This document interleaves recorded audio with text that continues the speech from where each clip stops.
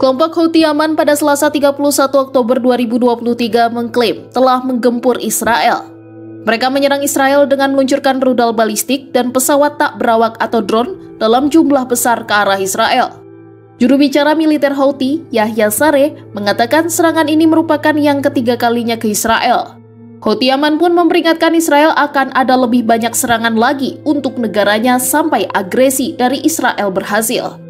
Insiden ini terjadi di tengah ketegangan yang meningkat pada perang Hamas Israel di Gaza. Sebelumnya seorang pejabat Houthi mengatakan kelompok Yaman yang didukung Iran tersebut telah mengirim drone ke Israel Selatan. Tak hanya Yaman, Hezbollah dari Lebanon juga terlibat dalam tembakan lintas batas dengan Israel. Pada Selasa pagi 31 Oktober 2023, Israel mengatakan telah menghancurkan rudal di udara di atas Laut Merah. Negara mengencat rudal itu menggunakan sistem pertahanan udara Arrow untuk pertama kalinya sejak pecahnya perang dengan Hamas pada 7 Oktober 2023 lalu. Insiden itu sempat memicu sirine serangan udara di resor wisata Laut Merah Eilat. Warga yang mendengar sirine pun sontak berlarian panik sambil mencari perlindungan. Akibat dari insiden itu, kota Taba dan Nuweiba terkena ledakannya.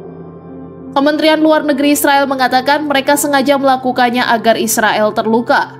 Insiden ini terjadi dua hari setelah Hamas meluncurkan sebuah roket ke arah Eilat. Download Tribun X sekarang, menghadirkan lokal menjadi Indonesia.